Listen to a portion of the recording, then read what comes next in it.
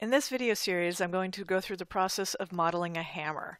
So this is the hammer I'll be using as reference, and I have several views of it, including a top, front, and side view, and back uh, view, as well as uh, several detailed photos showing detailed for texturing later on.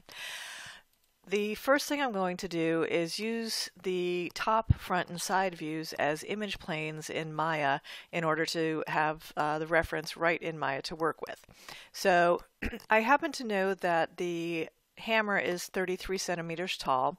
So I'm going to start by making a cube and going into the attribute editor and clicking on polycube 1 and where it says height, I'm going to type in 33 because the default units in Maya are, are, centimeters. So if I type in 33 for the height, that is now a 33 centimeter high um, cube.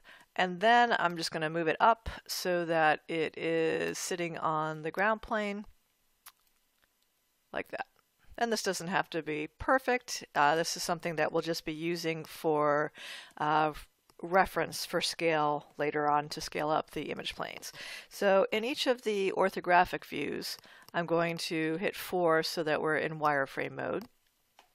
And then I am going to start by going into the front view and go View, Image Plane, Import Image, and I already had my project set so to the my this hammer project directory I created you can see that it automatically went to my source images folder and in the source images folder I have a reference folder so I will choose hammer front and click open and that now brought in this image which I want to make sure is the same height as this cube. So I'm going to select this image and in the attribute editor he over here where it says alpha gain, I'm going to put that at 0.5 instead of 1 so that it's slightly transparent.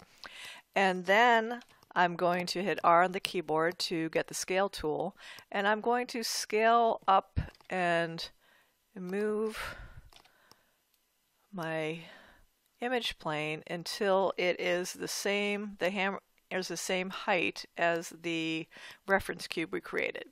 And then I'm just going to make sure that my hammer handle is pretty much centered on the um, the origin line.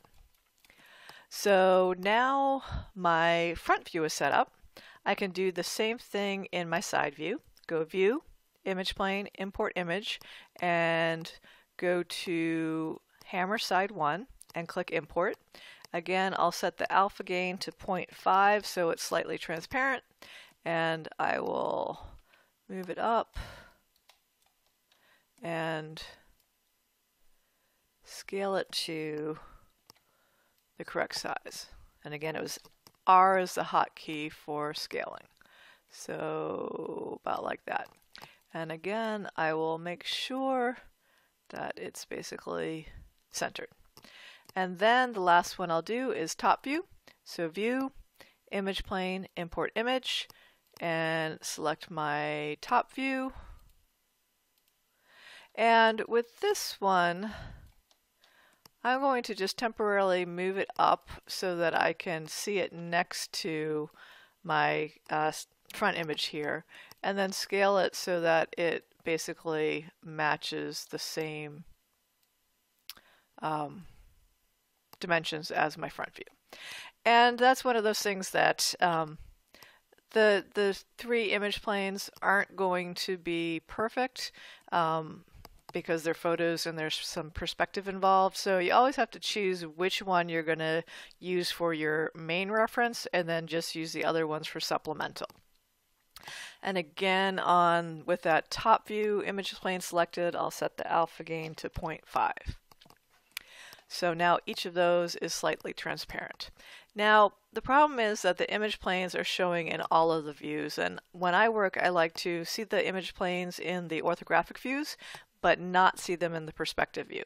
So I'm going to select one of the image planes and in my attribute editor here I'm going to change it from in all views to looking through camera And I'll do that for each of those, and that will make it so I see the image planes in the orthographic views, but don't see them anymore in the perspective view. And now that I have those set up, I can delete my reference cube and then I'll just do a file save scene as, and I'm going to call that hammer example v v01.